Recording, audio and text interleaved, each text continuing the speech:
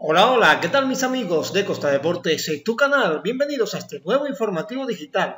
Hoy le vamos a comentar a tener el reporte del partido amistoso que tuvo Junior frente a Jaguares esta tarde noche en el Romelio Martínez. Doblete de Miguel Ángel Borja. Aquí vemos la celebración del jugador del departamento de Córdoba frente al equipo de su tierra. Hoy Borja marcó dos goles en el segundo partido donde pues supuestamente no juegan los titulares. Borja fue titular junto con Sherman Cárdenas en un equipo con grandes jugadores en la nómina del Junior. Ya se la vamos a presentar. Eh, Borja, además de los dos goles, también dio una asistencia a Sherman Cárdenas que marcó el primero de la noche en el segundo partido que terminó 4 por 0 a favor de los tiburones.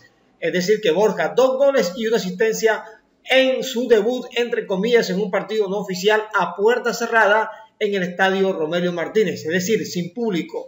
Ese equipo del Junior tuvo la siguiente formación: José Luis Chunga en el pórtico, Camilo Herrera, jugador sub-20, Rafa Pérez, César Haidar, que marcó un golazo para el tercero de la noche, y Gabriel Hernández, sub-20, Larry Vázquez, uno de los refuerzos, Higuita, James Sánchez, Inestrosa, Sherman Cárdenas y Miguel Ángel Borja. Higuita Barres, Vázquez, Cárdenas y Borja, los refuerzos del equipo eh, Tiburón, que pues tuvo una gran presentación en ese segundo partido, 4 por 0. El primer partido terminó empatado a 0 goles con ya la formación titular que supuestamente debería utilizar el técnico Julio Avelino Comesaña.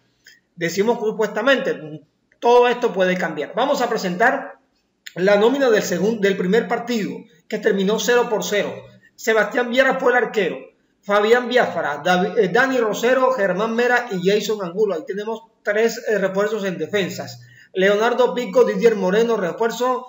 Eh, Cariaco González, Daniel Moreno, Teófilo Gutiérrez y Carmelo Valencia. Carmelo, otro de los refuerzos del equipo Tiburón. Este es el equipo que empezó la tanda de amistosos. Se jugaron 70 minutos, 35 minutos cada tiempo y el primer equipo no pudo. Hubo un postazo de Luis Cariaco González en el eh, segundo tiempo del primer partido, en el minuto 4, pero que se, bueno, se salvó el equipo de la ciudad de Montería. Primer encuentro amistoso de Junior frente a un equipo eh, del rentado colombiano en esta temporada 2020. El equipo de Julio Belino Comesaña se prepara para jugar frente al Unión Magdalena este sábado en otro encuentro donde podamos observar por lo menos las imágenes de los goles, porque hoy fueron cuatro y no se mostraron las imágenes eh, por parte del equipo barranquillero.